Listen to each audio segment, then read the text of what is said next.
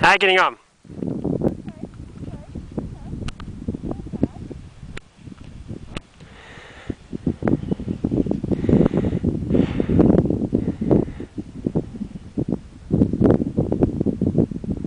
Make sure you slow diamond down and plenty time for the rocks. Don't run into the rocks now. Oh! You're right, sweetie. Alright?